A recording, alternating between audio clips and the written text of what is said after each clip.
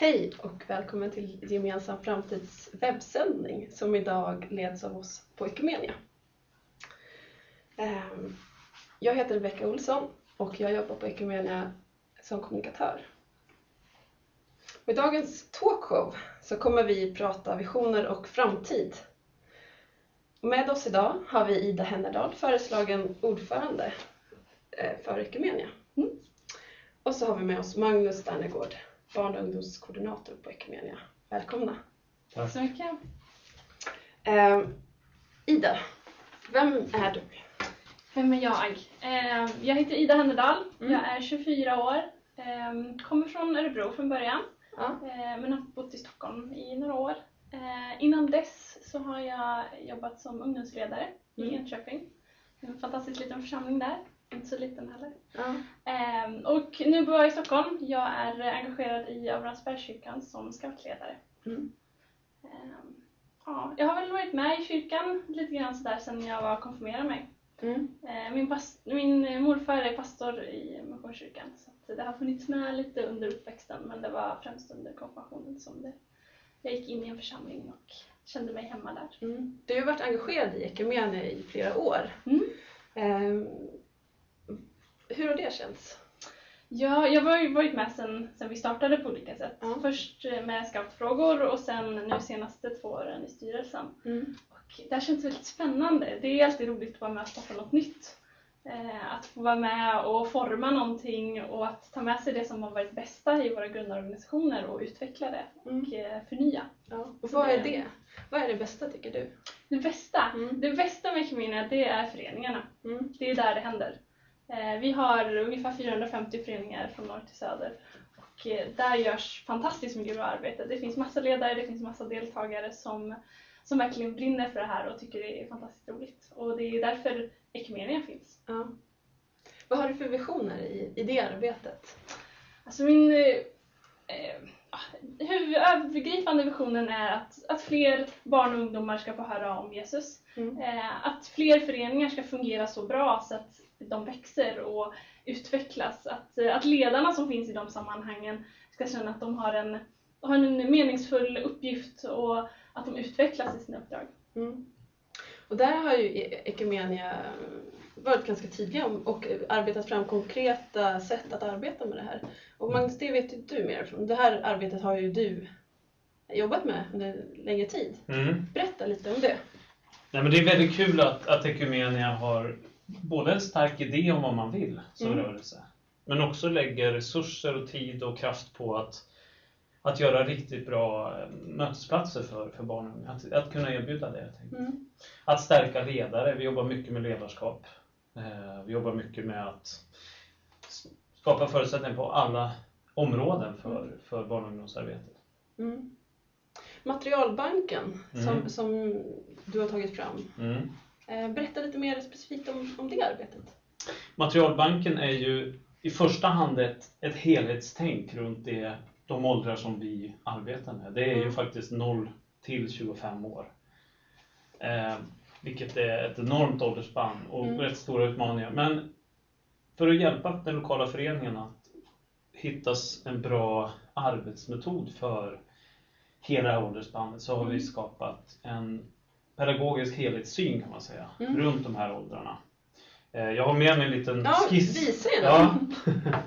en, en eh, översikt över de Ja. här åldrarna och eh, jag ska försöka hålla den framför kameran här så det syns bra.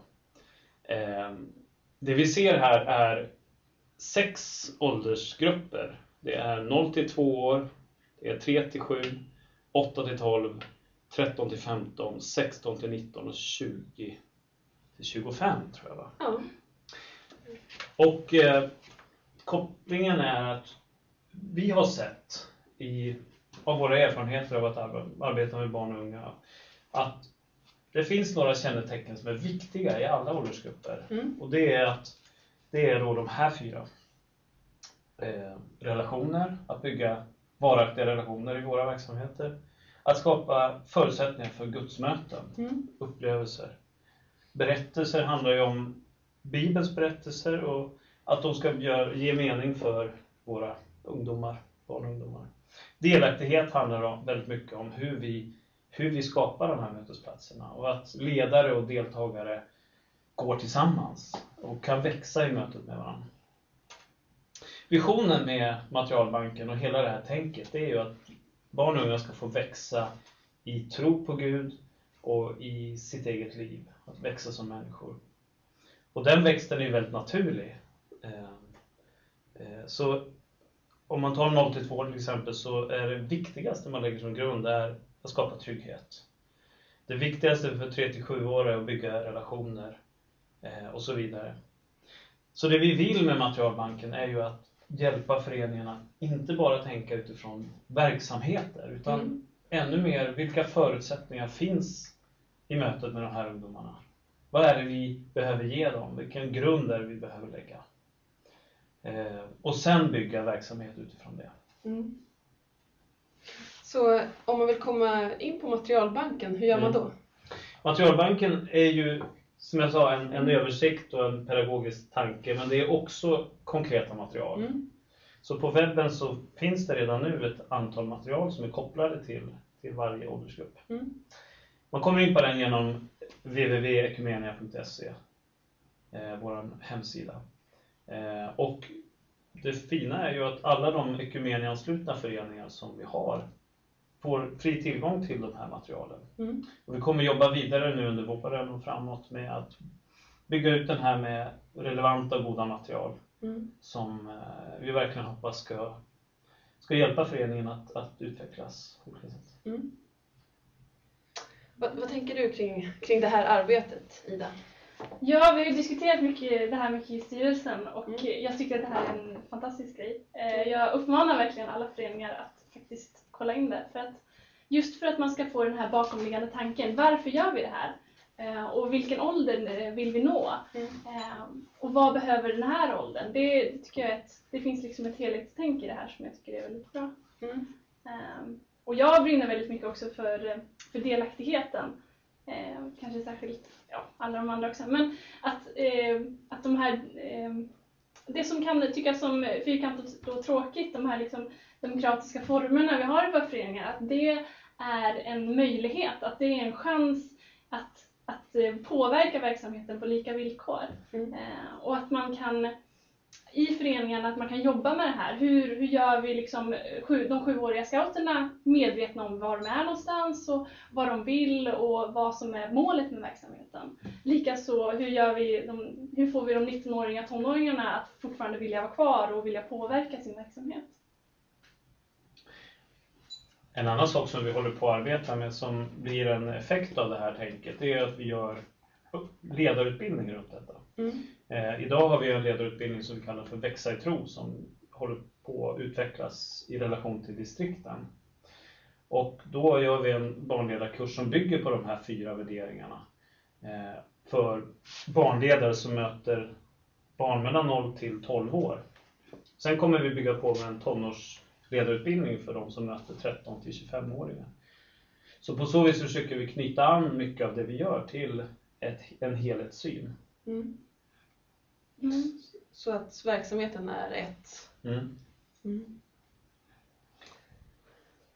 Ja, för det finns ju, alltså ledarna behöver ju också vara medvetna om vad man, vad man gör och varför man gör det. Mm. Ehm, det är väldigt lätt att, jag är scoutledare och det är väldigt lätt att vissa onsdagar så går man bara dit och så gör man det man ska mm. och så går man hem igen. Mm. Men eh, att försöka liksom få den här eh, ja, men mekanismen att fungera, att varför gör vi det? Hela tiden ställa sig frågan varför. Och att då få tydliga verktyg i hur man jobbar, det tror jag är jätteviktigt. Mm. Ledarutbildningar har ju varit kanske framförallt i scoutverksamheten tidigare, men jag tror att det är jättebra att bygga ut det så att det når fler, eh, fler ledare i fler verksamheter. Mm. En utmaning som vi möter hela tiden när vi är ute i föreningar det är ju åldrarna 16 år och uppåt. Alltså, mm. Det är en jätteutmaning hur vi ska möta dem på, på, på ett bra sätt. Eh, därför har vi jobbat extra mycket mot de här övre åldrarna och jobbat fram material och så. Eh, och det vi önskar är ju att varje förening ska ha förutsättning att möta de åldrar som finns. Men också kunna bygga så att om fem år när gruppen av åttaåringar som man kanske har är 13 eller 15 eller 18, att det finns mötesplatser för dem även då. Mm. Så det är ett sätt att bygga förening och församling på lång sikt. Mm. Eh, tack så mycket. Nu ska vi gå över i eh, bön. Eh, och jag har bett er två att eh, gemensamt leda den här bönen. Det gör vi. Ja, Gud, vi, vi ber för alla, alla föreningar som finns ute i Sverige. Mm. Vi ber att du ska fylla dem med din inspiration och din glädje. Mm. Och att de ska känna att, att det är för din skull de, de går till scout varje onsdag. Det är för din skull de, de har eh, samlingar för tonåringar. Tack Jesus att vi får förtroendet av dig att leda barn och ungdomar till dig. Jag vill be för det arbete vi gör på Ekumenia, att det ska göra skillnad. Men jag vill också be för varje förening att de får kraft och inspiration eh, i mötet med dig. Eh, och att, eh, att vi får göra ett gott arbete tillsammans. Tack att du kallar oss i första hand för dina vänner. I Jesu namn ber vi. Amen. Amen.